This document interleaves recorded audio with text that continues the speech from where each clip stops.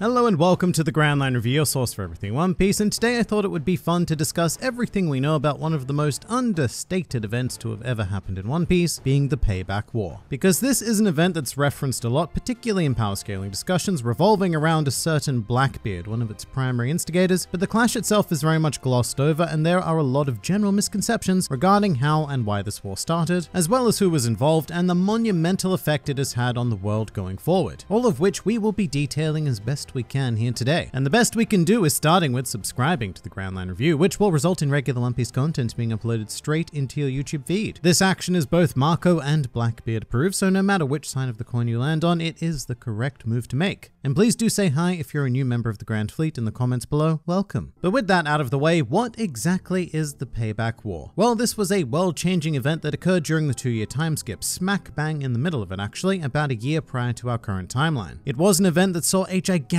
scale clash between the remnants of the Whitebeard pirates who had lost their captain during the Paramount War a year prior and the rising forces of the Blackbeard pirate, which is interesting because in many ways the Payback War is representative of a generational shift in the world, and this very much wiped away the final shred of power that the Whitebeard pirates held over the Grand Line and specifically within the New World. But first up, let's talk about the etymology behind the Payback War. This is not the official name for this conflict, and in English it is known as the Grudge War in both the Viz manga and Funimation subs. And as far as I can tell, the name Payback War is a relic from the world of scanlations that has rigorously stuck within the One Piece community to the point where the One Piece wiki article is even titled Payback War, despite mentioning that it does have an official name. Now, as for which is more correct, well, if we look at the Japanese, it is referred to as the Otoshimai Senso. Otoshimai having two meanings, one of which is a settlement for dispute, usually caused by some sort of blunder, which would generally be financial debt, and the other, much more applicable meaning here, would be to get even with someone, and Senso simply means war. So if we were going literal, Payback War honestly sounds a bit more accurate because it implies an active quest for revenge. Whereas a grudge is a very passive thing, you know, you hold a grudge, you don't necessarily act on it. However, with how these events actually played out, you may find that by the end, grudge is in fact the more correct word to have used, and we'll go over that. With that said, I'm still going to refer to it as the Payback War because scan or not, it is the most commonly recognizable name. Now, as for what led up to this event, we do need to briefly examine the childhood of one Edward Newgate. He was born on an island called Sphinx and grew up as an orphan under exceptionally rough conditions. Then after becoming a pirate and taking on the infamous Whitebeard name, Newgate would funnel his money back to Sphinx in order to make sure that his home prospered and that nobody would have to grow up under the same conditions as he did. And this is very, very important to mention because this one small yet delightful little island would go on to be a major catalyst for the Payback War. Before that though, during his long reign on the seas, Whitebeard recruited a young boy named Marshall D. Teach, a seemingly innocuous young lad who would grow up with the Whitebeard pirates, spending more than two decades sailing with them. However, Teach had rather dark ambitions and a particular skill for playing the long game, and as it turns out, one of Teach's primary motivations for joining this crew was to discover a certain devil fruit, which we now know as the Yami Yami no Mi. And while it did take about 26 years to do so, eventually the crew did stumble upon this fruit, at which point Teach murdered his alleged comrade Thatch and fled the Whitebeard pirates, causing an unforgivable rift between Teach and the crew. One that would only go on to get much, much worse, as it turns out one of Whitebeard's division commanders, Portgas Ace, made it his own personal mission to hunt Teach down, who had now adopted the name of Blackbeard. However, Ace's mission did not end well and the two clashed on Banaro Island, resulting in Ace's defeat and subsequent turning over to the Royal government, who then scheduled his execution. And this decision would spark the much more well-known Paramount War, whereby the full forces of the Whitebeard pirates marched on Marineford to save Ace, and which, as we all know, also did not work out well. And Blackbeard took full advantage of this event to deliver the final blow and kill Whitebeard, as well as steal his devil fruit ability being the Gura Gura no Mi. All of which is pretty insane when you lay it all out like that, because then you come to realize that this one man was single-handedly responsible for toppling the entirety of the Whitebeard pirates, simply through incredible planning and situational awareness. Now from here things get a bit hazy because this would be where the time skip occurred in the series, and there is a generally accepted thought that the remnants of the Whitebeard pirates, led by 1st Division Commander Marco, were burning with the desire for revenge and mustered everything they could to launch a retaliatory attack on Blackbeard and his ever-growing legion of piracy. But this is not actually the case. In reality, Blackbeard was the instigator of the Payback War, as his next mission after defeating Whitebeard was to capture his former territories and consolidate power within the New World. Meanwhile, the Whitebeard pirates had a very simple mission which was explained by Marco in chapter 909. After the Paramount War, we at least wanted to protect the village that Pops had cared so much for. When Blackbeard invaded, we started the Grudge War against him. And here Marco is of course referring to the island of Sphinx, which we briefly went over. But following the death of their captain and two division commanders, being Thatch and Ace, the Whitebeard pirates had no intention of engaging the Blackbeard pirates for the mere concept of revenge. Their focus was entirely dedicated to protecting Whitebeard's remaining legacy. However, after the Blackbeard pirates launched an invasion, Marco and the remnants were forced to respond, thus beginning the payback war. What's kind of frustratingly vague about this though is that we're currently unsure what this invasion of Blackbeard refers to. In context, it sounds an awful lot like he attempted to invade Sphinx, but that's because Marco was talking about that immediately before bringing up the invasion. Because at the same time, it seems very unlikely that Sphinx would be the target because it does remain well and prosperous to this day, which I'm not so sure that Blackbeard would have allowed considering, and spoiler alert, he won the war. So I believe that this invasion is referring to another territory or indeed territories held by the Whitebeard pirates, at which point they were left with two options. Either surrender and give everything up to Blackbeard, or fight and start a war. So of course, they did the latter. And this was by no means a small scale conflict. This was by all accounts a clash on a scale of the Paramount War. In fact, according to Nico Robin in chapter 820, it was quite a large battle with each side bringing in plenty of help. In the end, Marco's group was obliterated. It was only after this major confrontation that Blackbeard was first included among the list of the four emperors. And we'll get back to that second part in a bit, but this statement quite clearly references the allied pirate crews, of which the Whitebeard pirates were associated with a further 43 crews in addition to their main forces, comprising of 1617 men. That number is a pre-Paramount War figure as well, and at the very least there would be two members down, I guess, following it, but the allied crews did not fare best in that conflict either. And while it is currently unknown how many of the allied crews showed up for the payback war, their loyalty to Whitebeard was so profound that I imagine everyone who was physically able to would have engaged. But even if we were strictly talking about the Whitebeard pirates alone, Blackbeard still would have needed a massive force of his own to take them all on. And he built a similar structure to the Whitebeard pirates, actually, mimicking their division commander system with his own implementation of the 10 Titanic captains, as well as gathering quite a range of allied crews. An example of one of those crews would be the Peachbeard pirates, although it would be an admittedly bad example, because Peachbeard is confirmed to have joined that legion following the payback war, not before or during. Regardless, Blackbeard mustered the forces to take on the Whitebeard pirates and their allies, which would have been quite the massive conflict, and not at all how the scarce portrayals of the payback war have been shown in either the anime or the manga. When it comes to the manga, we actually have no visual depiction of the battle save for this small panel showing Blackbeard and Marco, rather dramatically shaded and everything. Whereas the anime took a fair few more uh, liberties, how shall we say, with how they decided to handle this scene. And here I'm particularly referring to episode 890, which I suppose is kind of like the payback war if it was depicted as an interpretive dance. Which is weird but also kind of interesting. The problem the anime had here is that the true details of the battle had not yet been revealed, so they had the rather difficult job of showing a battle without actually being able to, you know, tell us anything about it.